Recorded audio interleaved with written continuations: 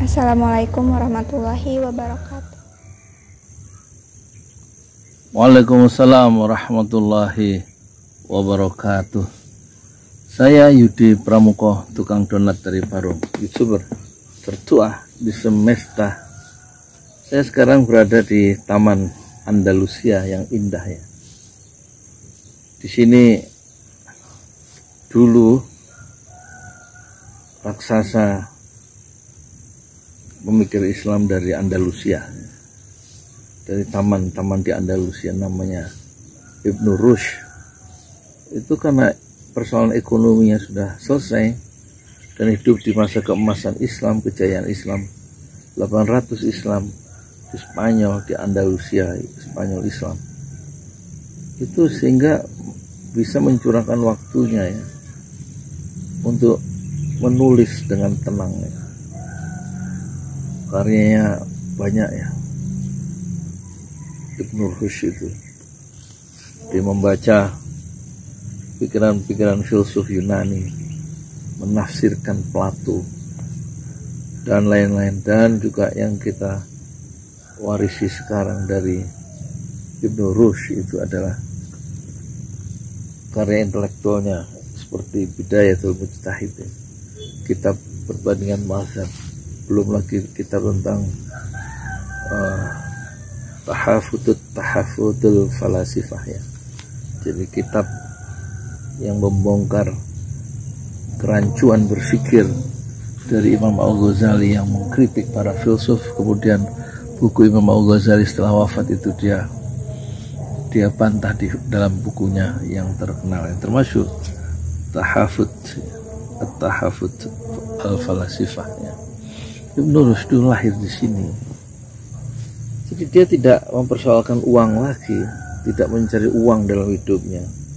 Tapi bagaimana mencoba mewariskan pikiran-pikiran terbaiknya untuk dunia dengan menulis buku ya berjilid-jilid percik-percik dan pemikiran dia yang sangat sistematis ya refleksi intelektualnya yang sangat dahsyat banyak lahir karya-karya masterpiece-nya.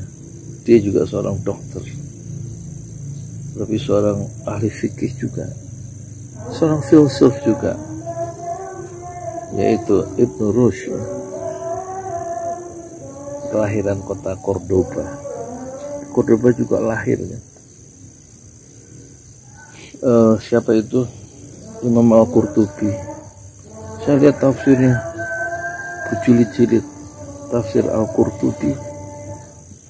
Orang Spanyol berbahasa Arab karyanya dalam bahasa Arab. Ibnu juga menulis dalam bahasa Arab. Ini bahasa Arab jangan dihinakan. Bibrisi kemarin mempertahankan tesisnya secara apa zoom dari baris krim itu. Dia menulis dalam buku dalam tesis doktor dalam bahasa Arab. Nggak ada harokatnya Arab gundul namanya. Jadi Habib Rizik itu orang hebat sebenarnya. Jauh jangan dibandingkan dengan Sambo. Jangan dibandingkan dengan Fadil Imron ya. Jangan dibandingkan dengan Jenderal Dudung. Habib Rizik punya kekuatan memahami Islam melayari gelombang ilmu-ilmu Islam dan dia sanggup menyelam ke dasarnya yang gelap kemudian memetik mutiara di dasar laut yang gelap itu dan memunculkannya ke atas sehingga diterangi oleh cahaya pagi di samudra. Itulah Habib Rizik Syihab. Dan dia hidupnya tidak mengejar uang dan tidak perlu juga bikin bunker untuk menyimpan kekayaannya 900 miliar. Hasil kejahatan itu sebenarnya. 900 miliar. Habib mewarisi tradisi dari ilmuwan-ilmuwan Islam yaitu menghalau kemungkaran menegakkan yang ma'ruf mengkomando yang ma'ruf dan dan mendiskomando yang mungkar tetapi oleh gerakan Islamophobia dia disapu. Dan kemudian Allah takdirkan dia bertahta. Tiga tahun tujuh bulan di kota suci Mekah Al-Mukarramah. Dan kembali lagi setelah itu. Tentu saja orang-orang yang jahat akan takut dengan kehadiran seorang Habib Rizik Syihab. Orang-orang yang jahat itu biasanya yang dicari adalah dua.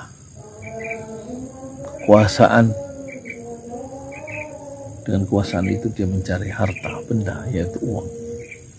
Dan tentu saja pelampiasan-pelampiasan syahwat.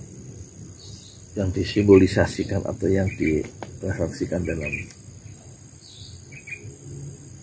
satu kata yaitu perempuan atau wanita.